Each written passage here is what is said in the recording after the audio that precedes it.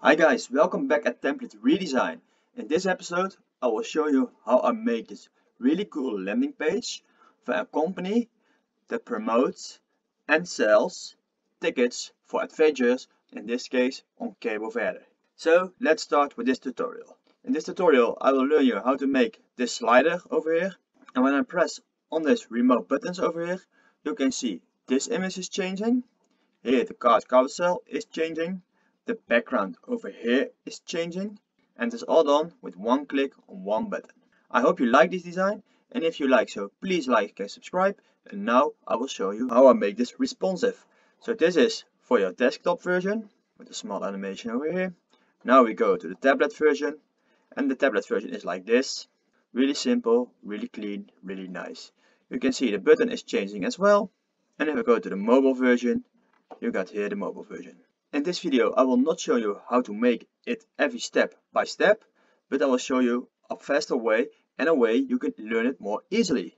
So if you go to my website template-redesign.com, you get over this page. And if I go to my designs and go to design number 11, it's this design over here, you can download it for free. You can download it over here. And I also will show you how to import it. It's really easy, really fast. So if you download this design over here.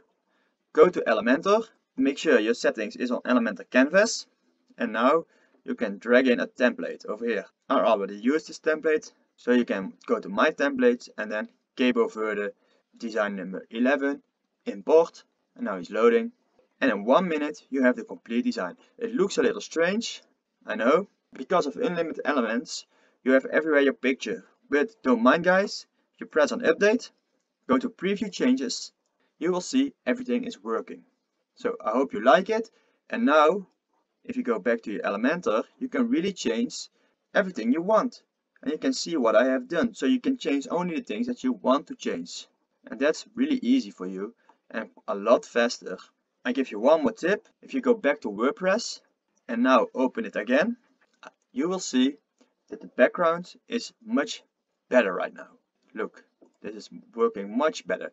Now you don't have the background a thousand times. So you can change up things really easily. To make this design, you only need three things. You need the background slider. That's from Unlimited Elements. That's this one. You also need the card carousel. That's this one. And you need the remote arrows. And that's this one. Those three widgets are from Unlimited Elements. I hope you like this design and if you like so, please like and subscribe and see you in my next video. Bye!